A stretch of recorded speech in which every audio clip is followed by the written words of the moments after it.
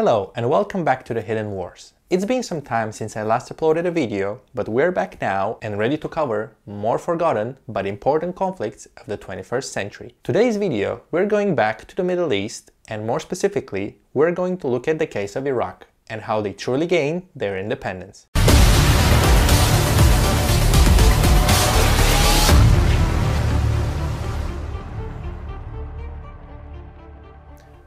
What we now call modern-day Iraq came to exist after the fall of the Ottoman Empire following their defeat in World War I. The victorious powers, Britain and France, designed a plan to divide the Middle East and share it between themselves. Before World War I even officially ended, they created a plan called the Sykes-Picot Agreement in which they, they designed the borders of influence which they were control. Little did they know at the time that these new borders that they decided on themselves will shape the future for decades to come in the region.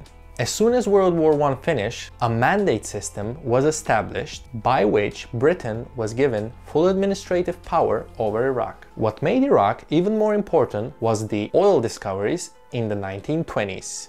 Petroleum was becoming a vital resource for the 20th century, and countries which possessed it played an important role in the global economy. To make sure that the Iraqis would listen whatever the British say, the British installed Faisal I as the king of Iraq. And even though the majority of the population were Shia Arabs in Iraq, the minority of Sunni Muslims were given all the power to rule the country. When they drew up the plan, the British and the French did not take into account the diversity and the demographics of the region. As you can see of this map, there is plenty of different ethnic groups and religious minorities that coexist together and if you group them in one country, it will inevitably create division inside the country.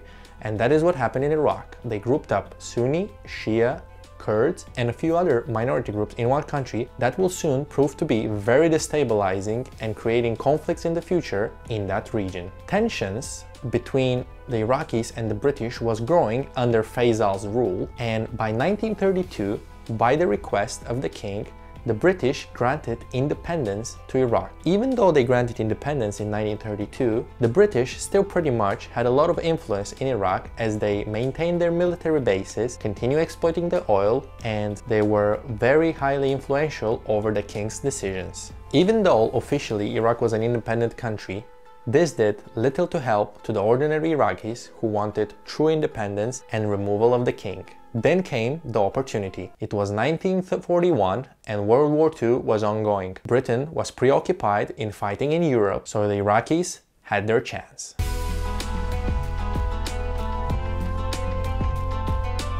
So Iraq pretty much became unstable as soon as it was granted official independence. As early as 1936, four years after they declared independence, there was a coup attempt to replace the prime minister at the time. And since then, military coups would become a usual method to take power in the country. The real attempt, however, to abolish the monarchy came in 1941, in the midst of World War II. At the time, Iraq's head of state was King Faisal II, but because of his young age, a regency was appointed headed by Abdullah of Hejaz. Also, Iraq's alliance with Britain in the war was not approved by many of its military officers in the army, which were very nationalistic. The anger and frustration with the war of the general population in Iraq became even more powerful as soon as a powerful mufti called Amin al-Husseini arrived from Palestine where he just unsuccessfully organized an uprising against the British. As the British were controlling Palestine as well at the time, Amin al-Husseini just fled Palestine and arrived in Iraq and he attempted to organize an uprising against the British in Iraq and he hoped his uprising would be successful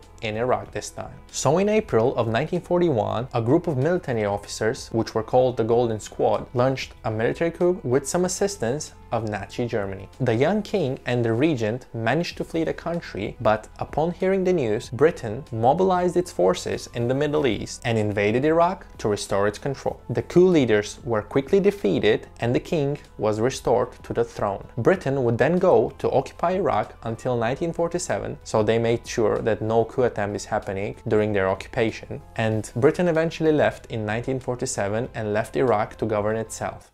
But as soon as they left, another uprising was knocking on the door.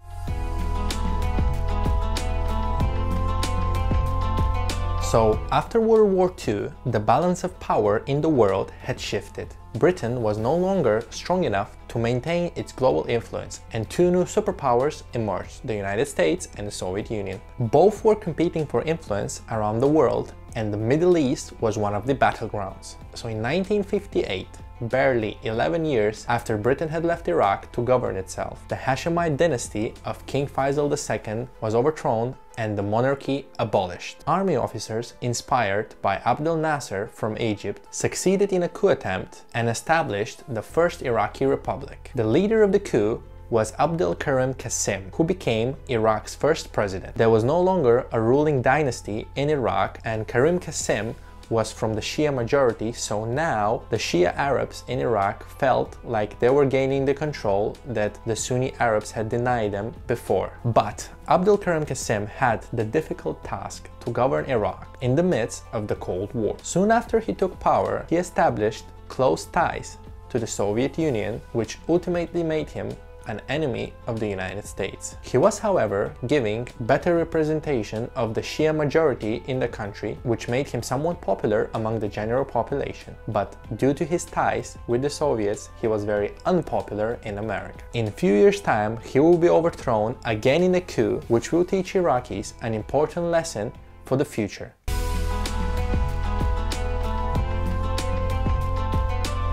So that was all for today's video. We covered how Iraq became independent. It was a rough start from the beginning. Their country's borders were decided by Britain, not by themselves, and different groups of people, which not all liked each other, were grouped in one country. This ultimately sealed the fate of Iraq. The future was going to be not stable, and even though Iraq was blessed with oil discoveries and potentially was going to become a rich country, the destabilization caused by these borders and the different people fighting each other for power in the country would make it a very unstable country for the future. The Iraqis managed to gain their independence in 1958 through force and by force is gonna become the usual method on how a person takes power in Iraq. They would be interesting years for the future to come in Iraq and other coups which we will cover in a future episode. I hope you liked this video and if you did, make sure you hit that like button. Make sure also to subscribe and follow more videos of the Hidden Wars.